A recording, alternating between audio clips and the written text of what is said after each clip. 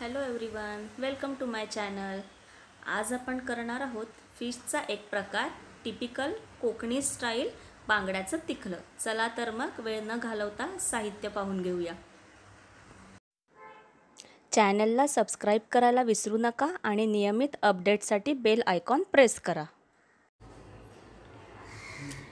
कोकणी पद्धतीने बांगड्याचं तिखलं ब बनवण्यासाठी लागणारं साहित्य पाहूयात. इथे मी दोन छोटे बांगडे त्यांना अर्धे तुकडे करून स्वच्छ धुवून घेतले साधारण पाव वाटी सुकं खोबरं. तिखलं तुम्ही सुकं किंवा ओलं कुठल्याही खोबरं वापरून बनवू शकता. सुकं खोबऱ्याचं फार छान होतं. इथे मी चार मिरच्या घेतल्यात. त्यामध्ये दोन बेडगी मिरच्या घेतल्यात आणि दोन तिखट मिरच्या घेतल्यात. एक छोटा चमचा धणे अर्धा छोटा चमचा बडीशेप चिमूडभर किंवा पाव छोटा चमचा हळद सात आठ लसूण पाकळ्या. सर्वप्रथम हे सर्व आपण आता मिक्सरला वाटून घेणार आहोत. त्यानंतर फोडणीसाठी लसूण एक चार पाच ठेचलेला लसूण आणि एक उभी मिरची चिरलेली. चार पाच इथे मी कोकम घेतलेत आंबटपणासाठी. फोडणीला तेल लागेल सोबतच चवीनुसार मीठ. सगळ्यात आधी आता आपण हे वाटून घेऊयात. वाटणामध्ये थोडंसं पाणी टाकून अगदी बारीक असं आपल्याला ही पेस्ट करून घ्यायचे बारीक पातळ असं वाटून घ्यायचं. इथे मी मातीच्या लगडीमध्ये फोडण्यासाठी तेल टाकून घेतले तेल आता तापलंय छान.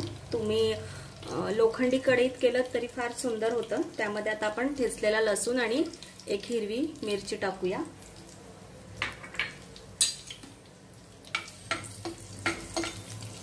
लसूण थोडासा लालसर झाला की त्यामध्ये आपण आता वाटण परतून घेऊया.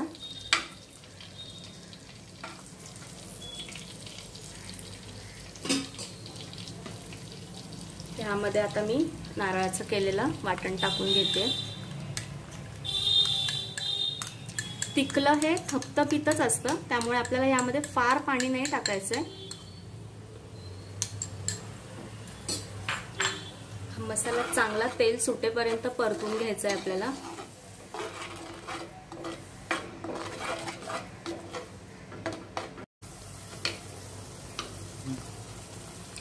वाटणाला छान असं तेल सुटलंय त्यामध्ये आता थोडंसं मी हे वाटणाचंच पाणी टाकून घेते.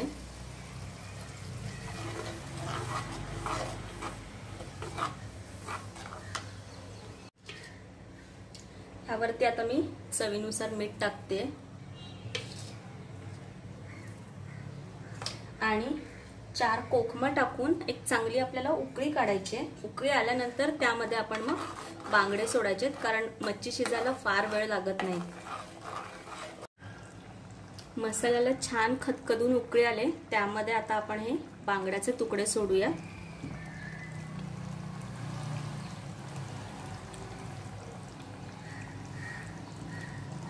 मच्छी टाकल्यानंतर फार जास्त हलवायचं नाही त्यामुळे अगदी थोडंसं फक्त मसाला फक्त लागेपर्यंत मी चमचा लावते आणि एक झाकण ठेवून फक्त दोन ते तीन मिनटं आपल्याला शिजवून घ्यायचंय.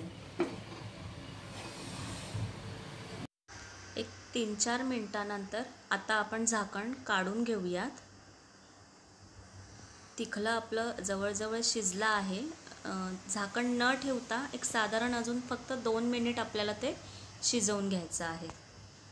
त्यानंतर आपण सर्विंग डिशमध्ये काढून घेऊया. आंबट तिखट कोकणी स्टाईल बांगड्याचं तिखलं गरमागरम भात आणि तांदळाच्या भाकरीसोबत खूप छान लागतं. व्हिडिओ आवडल्यास लाईक करा आणि चॅनलला सबस्क्राईब करायला विसरू नका. लवकरच भेटूया एका नवीन रेसिपीसह फूड टूर वाया कोकणवर.